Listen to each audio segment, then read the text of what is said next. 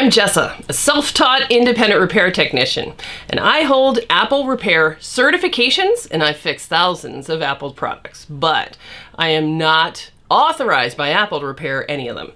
Manufacturer authorized repair is another way to say manufacturer controlled repair. But as an unauthorized independent, I'm not controlled by Apple, and therefore I'm not forced to decline repairs that may not make business sense for Apple. I would prefer that you fix your device if it's at all possible, and only buy a new one if you really have to. I don't think Apple likes me, and many others like me. I'm banned from the Apple Support Community Forum for going on there and telling people that many common problems with Apple devices are actually repairable. I've been banned, and my answers are deleted. The corporate Apple policy is that they will not refer repairs that they don't do to people that are like me in your community even if it means that somebody out there is not going to be able to get back the data that's trapped on their dead device.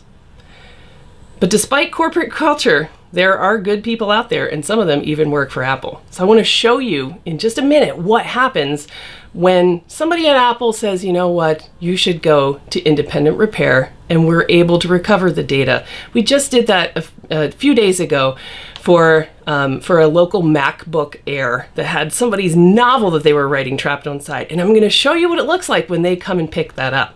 Now, in order for us to to fix this MacBook, I had to use schematics that fell off a truck in China. Now, a schematic is something that Apple doesn't want me to have, but that's not really intellectual property. A schematic is just a map, just like a city. It shows me how things are connected together on the logic board so that I can see what's supposed to talk to what and what's broken and that I can fix it. It's kind of like looking at a model of a kidney in order to do a surgery, and that's really different than actually building a kidney from scratch and knowing how all the parts functionally connect and talk to each other. The other thing that I needed to do to fix this MacBook is I had to order a chip that it was that it needed. Now that chip I had to order from China and I had to cross my fingers that what I got was actually the chip that I needed.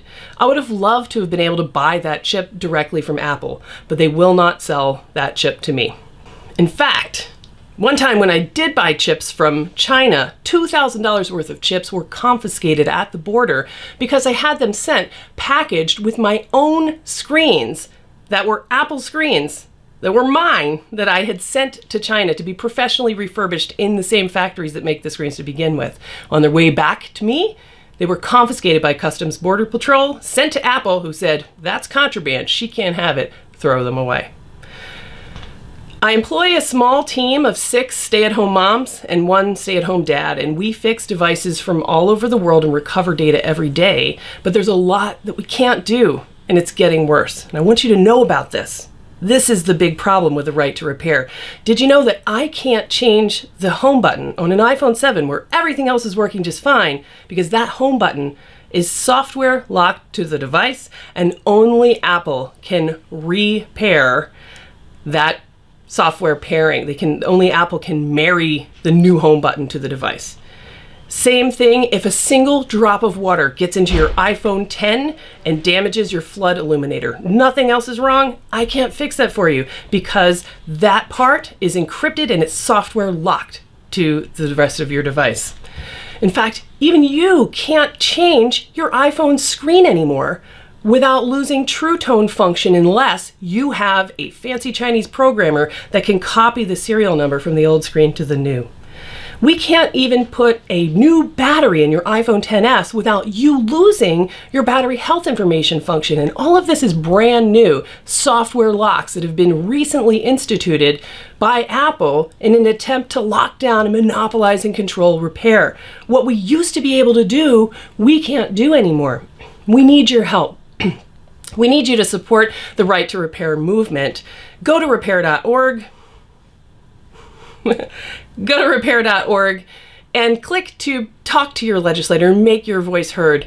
Because if you don't, we could very well end up in a world where you can't change the batteries in your own remote control to your TV because the batteries have a serial number that's paired to that TV. Don't let that happen. Say no to software locks on parts. Go to repair.org. And now let's see what is it like when somebody who thought there was no way to get their data from their MacBook finds out that because of independent repair, there is a way.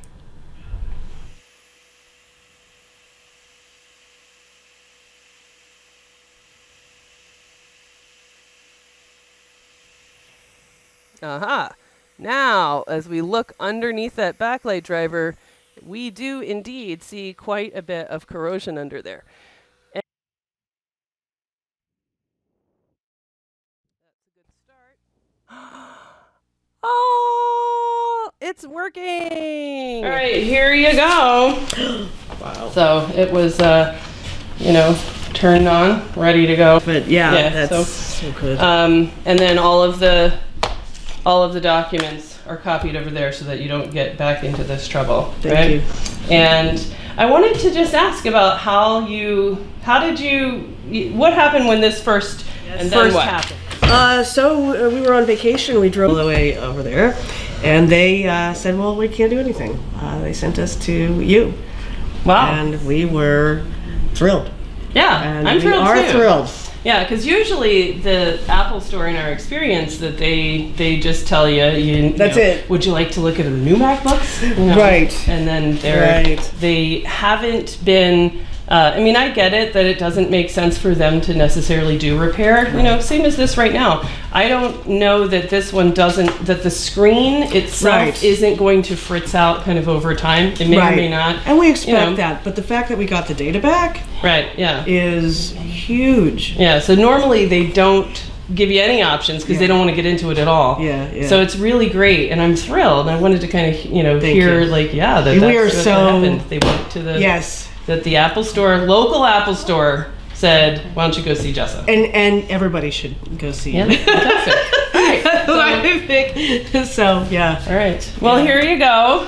And, in fact, I put up an article about you this morning on my Facebook Oh, and nice. just said thank you to you and your Awesome. crew.